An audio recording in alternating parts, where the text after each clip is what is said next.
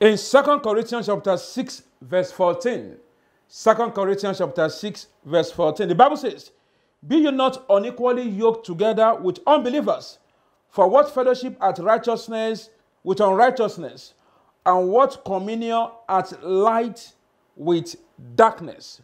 Shout this prayer point loud and clear. Spirit spouse, leave my life alone in the name of Jesus. Spirit spouse, leave my life alone in the name of Jesus. Spirit spouse, leave my life alone. Leave my life alone. Leave my life alone. You spirit spouse, you spirit husband, you spirit wife, I command you, leave my life alone in Jesus' name. You are watching Evangelist Joshua TV. We are looking on a very important topic. Do this, and the spirit spouse will leave you. Do this, and the spirit spouse will leave you. The spirit spouse has the mission to attack marriages, to delay marriages, to pollute, to defy, and to scatter marriage. The spirit spouse has the mission or the purposes to carry out in every man or woman's life. If you know that you have spirit spouse, the spirit spouse will terminate your earthly relationship. The spirit husband or the spirit wife will make sure that your relationship did not lead to marriage or your marriage is not fruitful. The spirit spouse, the spirit wife or spirit husband will make sure that your wife or your husband divorce you. It will make sure that your husband hates you for no reason. It will cause all kinds of envy, unhealthy competition between man and woman. When there's a spirit spouse in place in your life, you cannot move forward. When there's a spirit spouse in place in your life, you cannot achieve your destiny in that marriage. You, as a minister of God, if you know that you have spirit spouse or the spirit of loss, you cannot fulfill your ministerial vision or calling. It is certain that prayer and deliverance can destroy or chase away the spirit spouse from our life. It is certain that deliverance can break every entanglement between us and the spirit of darkness. The Bible says, For what righteousness got with unrighteousness, for what light with darkness. You are a child of light, so you don't have any affiliation with darkness. If you discovered that you are having entanglement, you are having relationship or covenant with spirit spouse, spirit wife, or spirit husband, what do you do? You break it. Because if you did not break that covenant you are having with the spirit spouse in the dream, it will affect you.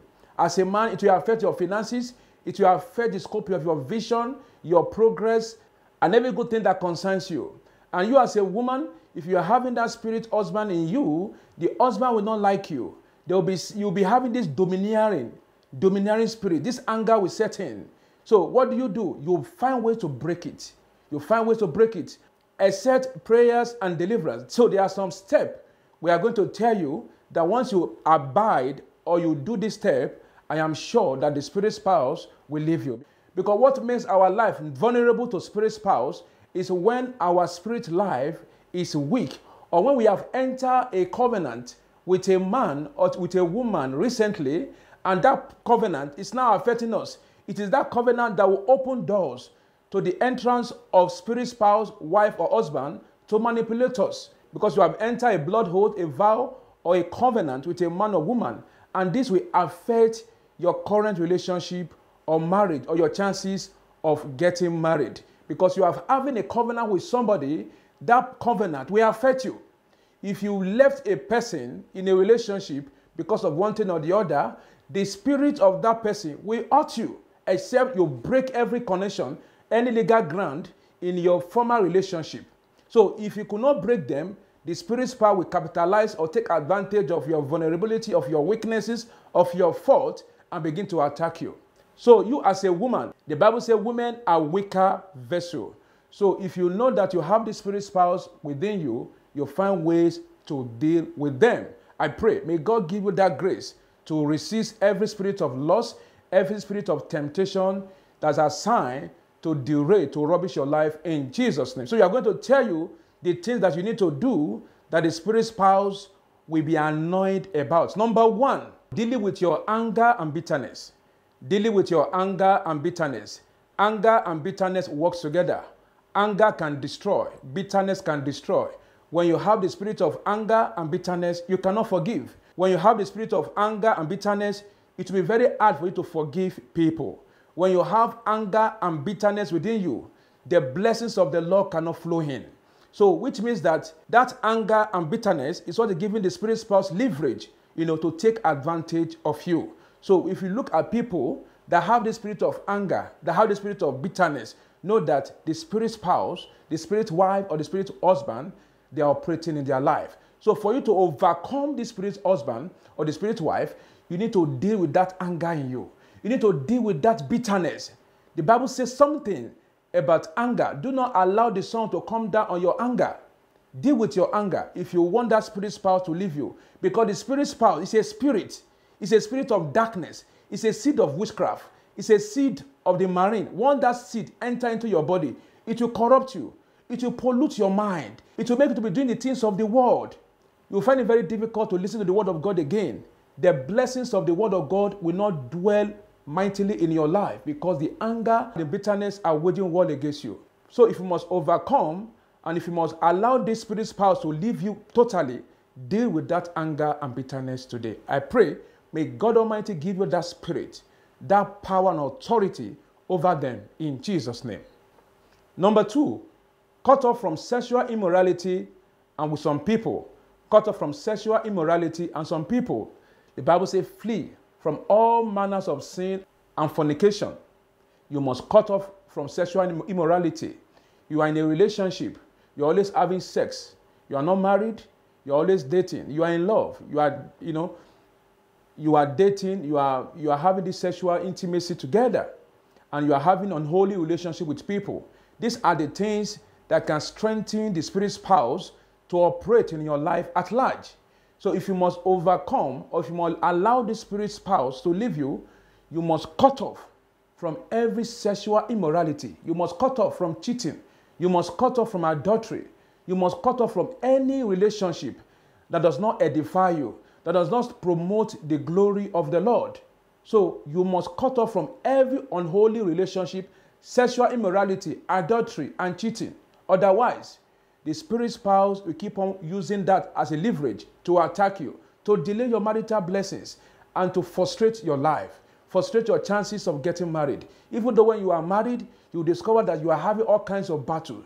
So if you must overcome, you must cut off totally from every sexual immorality, cheating, adultery, and must cut off or separate yourself from some people that always talk things that are not edifying.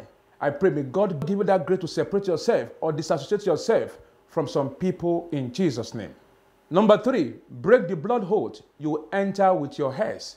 Break the blood oath you entered with your hairs. You were in a relationship, you enter a blood oath that I must marry you. Me and you are forever. We will love you to the rest of our life. You, you suck our blood, you, you, you suck his blood, you, you suck our blood. This is a blood oath and anything that has to do with blood oath can give way for the devil to come in and validate that covenant you enter with somebody. It may not be a blood oath, it may be a promise, a vow, or a covenant between you and somebody that I must marry you. When you tell somebody that I must marry you, that is a covenant. It's an agreement between you and somebody.